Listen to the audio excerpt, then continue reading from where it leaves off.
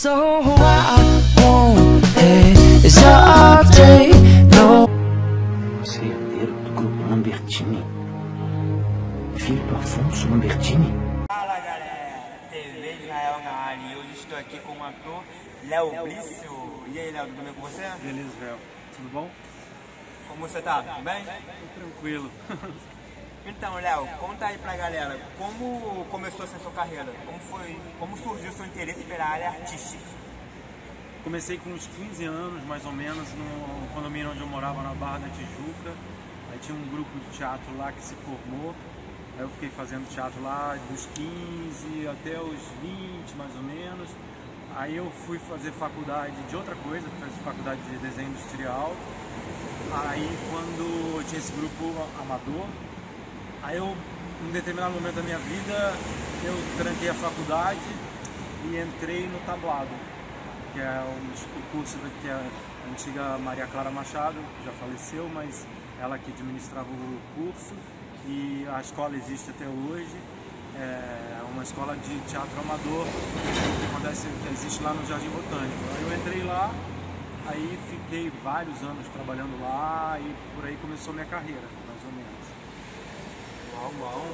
E você tem algum projeto assim atualmente? Você está saindo com uma peça, né? Conta aí. Isso, nós estamos aqui na frente do Teatro Glaucio Gil, em Copacabana. A gente, eu, eu, eu faço parte de um grupo chamado O Mondé. O Mondé, pode ir lá nas redes sociais, chama Cia O Mondé. É dirigido pela Inês Viana e a gente já tem, vai fazer nove anos, ano que vem a gente faz dez anos de grupo. E já temos várias peças em repertório e esse ano a gente vai estrear aqui no Glaucio Gil, dia 15 de junho, a peça A Mentira, que na verdade é uma adaptação do, Mas tá aqui na descrição, hein? é, adaptação do primeiro romance do Nelson Rodrigues. Aí, Uma é, peça forte, né? é, um- é uma história, é uma adaptação mesmo do romance, que na verdade é a Inês Viana que está fazendo, e a gente está montando aqui nesse teatro que a gente está aqui na frente. Ele, é na verdade, a mentira é um- uma compilação um pouco do começo de tudo que o Nelson Rodrigues vai fazer depois, todas as, pe- as peças marcantes da vida dele, um pouco na mentira, é uma prévia de tudo isso que vai acontecer no futuro da carreira gente tá, é uma peça, na verdade é um texto que ninguém nunca montou, né? porque não é um texto de teatro, mas é um, é um romance, mas é, a gente vai fazer pela primeira vez, mostrar para o público pela primeira vez essa história do Nelson. E o Léo, ele também fez uma novela muito marcante, da Cor do Pecado, né, Léo? Sim, Da Cor do Pecado foi a última novela que eu fiz na Globo. E tem uma curiosidade que eu sempre saber sobre essa novela. Fala. Sobre os irmãos Sardinhas. Vocês já aprendiam a lutar ou vocês teve aula de luta? Como é que foi pra gravar essa cena? Na verdade, a gente fazia aula de Kung Fu com um professor chamado Danny Hu. E eu já tinha trabalhado com o Danny Hu uns anos antes, numa peça em São Paulo, que, que, eu, que eu fui pra, depois para o Rio e depois para Portugal também, que chamava, é um- era um texto do Shakespeare que chamava Péricles, Príncipe de Tiro, direção do Ulisses Cruz, que é o diretor de São Paulo. E a gente tinha preparação corporal dessa peça, Kung Fu também. Então eu já conheci o Danny Hu. Aí o Danny Hu, quando eh, ele foi chamado para fazer essa novela, então na verdade foi só uma continuação de um trabalho que a gente já tinha feito no Péricles. A gente, ele colocou no, no trabalho dos, dos irmãos Sardinha. E como foi pra você gravar Ulisses? Ah, foi divertido, né? Era uma loucura. É, primeiro início eu trabalhava muito só com o Gianni, né? Depois Gianni Kini. Aí os irmãos também, a gente, a, a própria preparação, a história da mamusca, da Rose Campos, é, era um núcleo bem engraçado, divertido de fazer. E o meu personagem era o único que era um pouco fora do, do núcleo Sardinha, porque eu era o primeiro que morava fora de casa, morava num barco, então gravava bastante no mar também, enjoei bastante. Aí, tipo, cheguei a me machucar com as lutas uma vez, eu levei um, um taco de sinuca no olho, fui, fui do, do Projac direto pro hospital. Então aconteceram várias, várias aventuras, várias coisas na novela.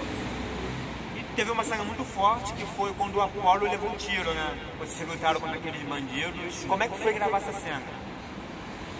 É, na verdade, foi a segunda vez que eu é, é um- era, um, era um lugar no, no Projac tinha um barco falso e uma dentro de uma piscina enorme e entrava muita, muita onda.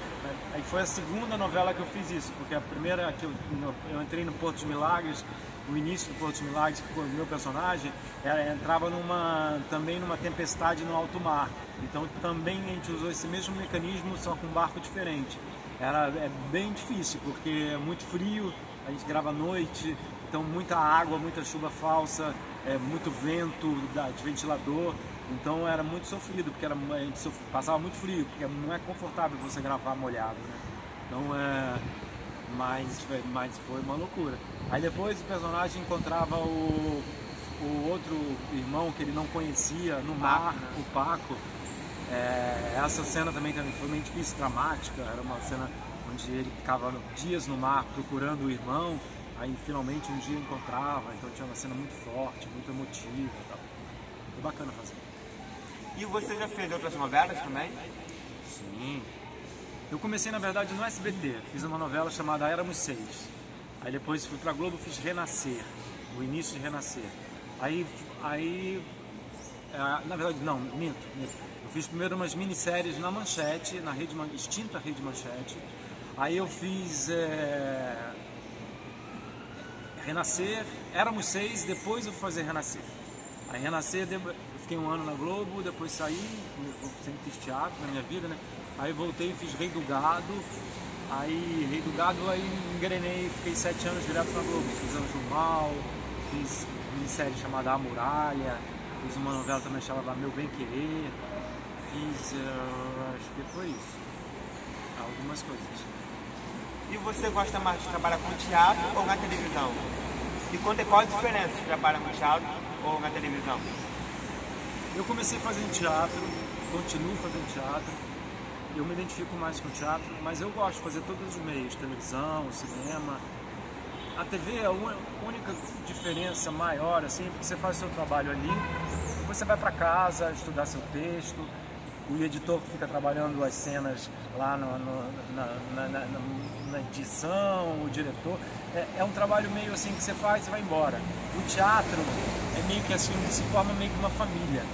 Então, é, por exemplo, esse grupo que eu tenho, já tem nove anos, a gente fica muito amigo. Não é que na TV não aconteça isso, a gente também fica muito próximo quando faz um, uma novela.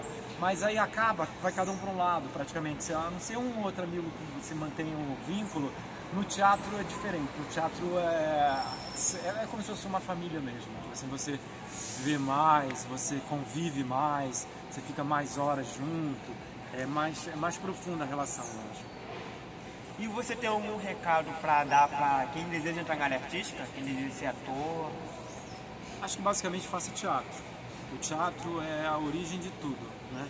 O teatro é ancestral, então o teatro foi aí daí que começou, né? Na Grécia. Então, daí se originou todas as outras manifestações de arte. Então tem muita gente que, que resolve, que gosta de TV e vai já querendo fazer TV. Não sou contra mas eu aconselho a sempre experimentar o teatro. É isso, galera. Agora vamos fazer uma brincadeira aqui no final. É assim, eu vou falar uma palavra e definir ela com outra. Definir ou, ou linkar com outra? Ah, tipo assim, que, é meu, família, que... você define amor. Ah, tá. Tipo isso, tá bom? Tá, tipo que... Que... É, televisão. Trabalho. É, da cor do pecado. Diversão. Família necessária. Vida acaba. Ulisses Sardinha. Saudade.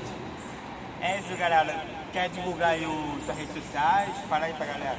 Na verdade, eu não sou muito de rede social, você sabe, né? Tipo assim, eu sou, tenho só o Instagram, que é, que é Léo Brício. Estar aqui na descrição. Né? É. O Facebook eu praticamente não uso, já aposentei o Facebook, então eu tenho, mas eu não uso. Já tá, eu fico seis meses que eu não, que não entro lá. E na verdade minha única rede social hoje em dia mesmo é o Instagram. Eu não uso Twitter, essas coisas. Se tiver algum Twitter é falso, tá gente? Eu não tenho não. É tudo fake, hein? Tudo fake. Só o Instagram que é verdadeiro. Que não é oficial, não tá escrito oficial, é Léo Brício mesmo, mas, mas é meu mesmo. Você vai reparar que é meu mesmo. Vou botar aqui na descrição o Instagram dele. Aham. Você tem um canal, um canal no YouTube, não? Não tem. Pretende criar? Não, eu, eu, eu, assim, a minha comunicação está no palco. Então quem quer falar comigo, vem, vem, vem me assistir no palco. Aqui no Alcio Gil, Teatro Alcio Gil, Copacabana, a partir do dia 15 de junho. 15 de junho, vou botar aqui, vou escrever É, aí. sexta, sábado, domingo e segunda-feira. Perfeito. É isso, galera. TV Israel sem filtro, sem noção e aqui com o Léo Blisso. Então, Léo, agora vai ser a frase final. É assim, curtiu, curtiu, curtiu, vai ver se tá online. Curtiu, curtiu, curtiu, vai ver se eu tô online. Valeu, galera. que restou, pois acredito